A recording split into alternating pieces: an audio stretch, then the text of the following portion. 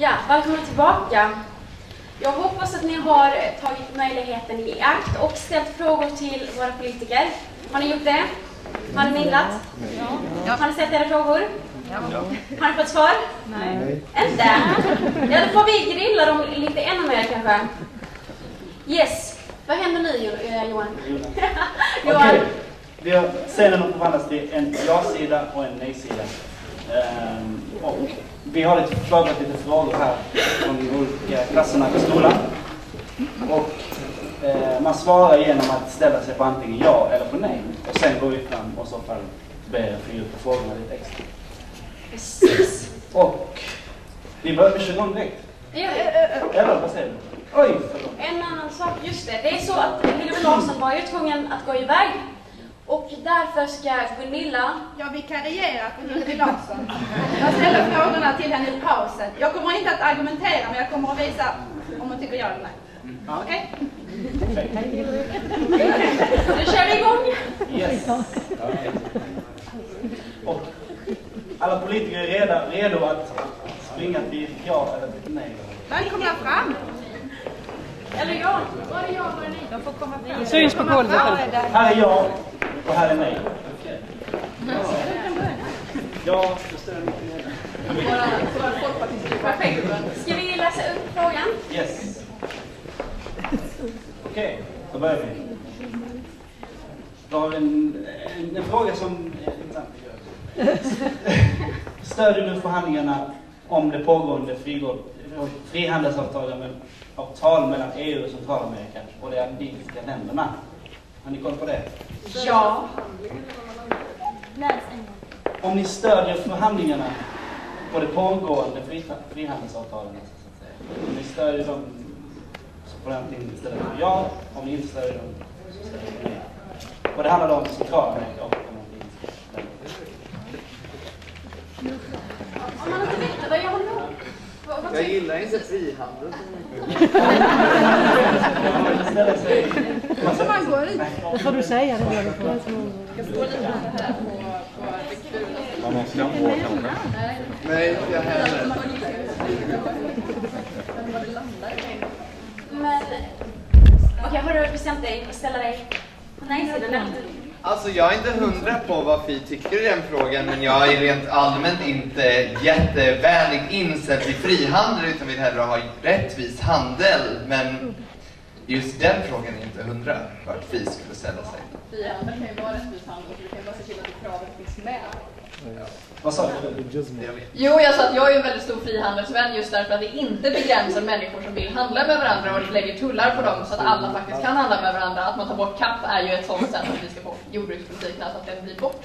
Och det, jag, kan, jag har inte helt koll på det här frihandelsavtalet, men vad jag sa till Alexander var att givetvis kan ett frihandelsavtal också vara ett rättvist avtal.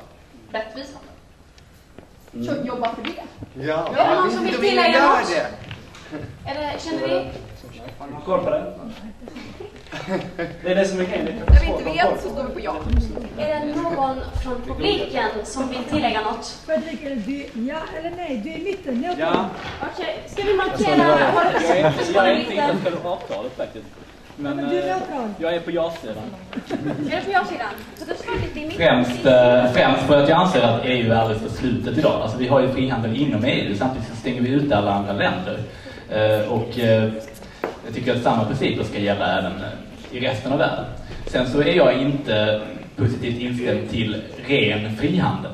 Utan som jag sa innan i min presentation så anser jag att då måste man räkna in miljökostnader och sociala kostnader i priset. Och om man hade gjort det så tror jag inte att det varit lika lönsamt att transportera all mat från andra sidan jorden till exempel. Tack så mycket. Då eh, lämnar vi ordet till eh, Wilmer. Varsågod.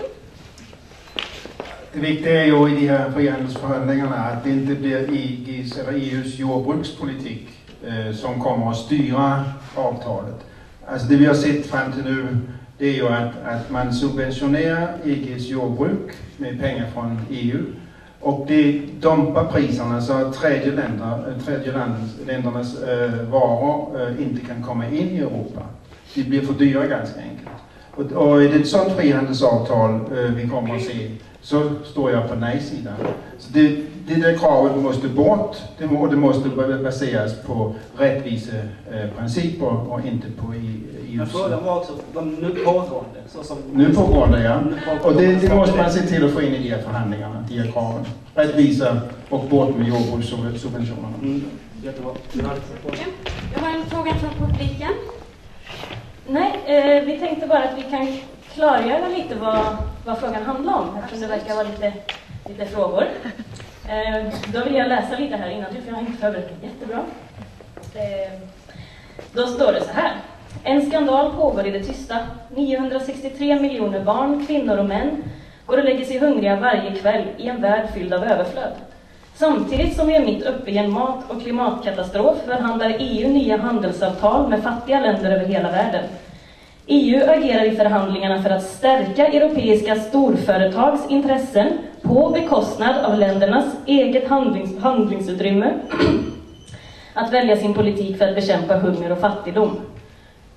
Alltså, de frihandelsavtal som just nu håller på att förhandlas fram är för att stärka storföretagens makt och position i världen och gynnar inte de fattiga människorna överhuvudtaget.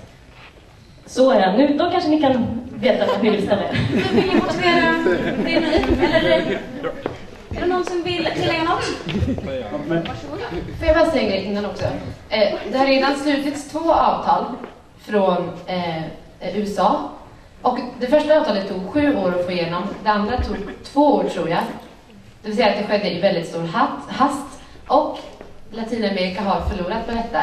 Och just nu så pushar EU väldigt, väldigt hårt på att få igenom de här handelsavtalen väldigt, väldigt, väldigt fort. Och det finns absolut ingen insyn i de här avtalen överhuvudtaget. De förhandlas helt och hållet bakom stängda dörrar och presenterades som ett färdigt paket som ingen kunde säga någonting om. De centralamerikanska länderna och den andinska unionen som påverkas av detta skriker och ropar nej, nej, nej. Ni dödar oss, det här liksom förstör precis allting. Och EU säger jo, jo, jo, vi måste skynda oss. USA är ju så snabba och framme och har ju redan sådana här avtal. Vi måste också tänka på våra pengar och vi vill också bli rikare. USA får inte komma före EU. Det är det enda vi bryr oss om.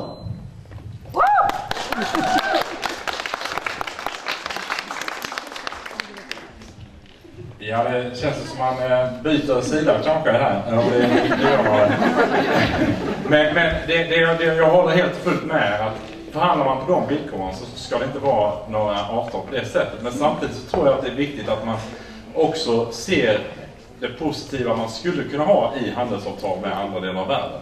Och om vi då samtidigt skär ner på vår, vårt jordbruksstöd och slutar subventionera våra, andra, våra egna produkter till, i motsats till andra fattiga länders produkter så tror jag att det är bra att göra avtal men de ska inte se ut så. Så jag, jag ställer mig på denna sidan nu men samtidigt så hoppas jag att vi får mer frihandelsavtal med andra delar av världen fast som ser annorlunda ut.